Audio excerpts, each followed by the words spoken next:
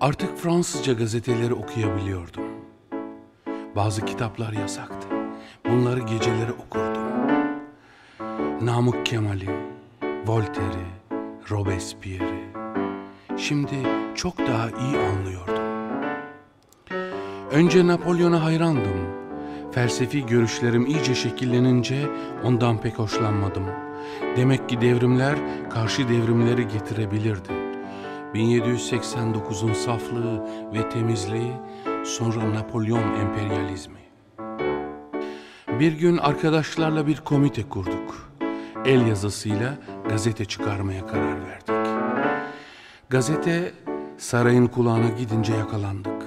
Ama okul müdürü devrimci bir adamdı. Kurtulduk. Belki de bir içgüdü. Kurmay okulunun ilk sınıfında hepimizden birer araştırma yazısı istenmişti.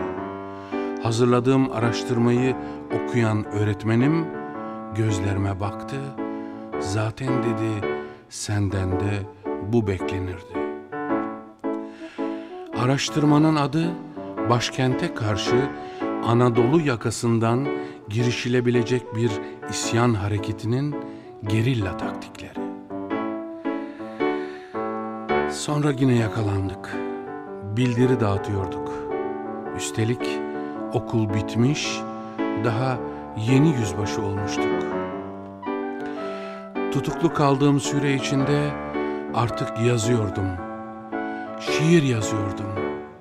Devrim taslakları yazıyordum. Sonunda kıta hizmeti adına İstanbul dışına sürüldüm. Şam'a. Peki dedim, öyle olsun. Biz de gider, çölde bile yeni bir devlet kurarız.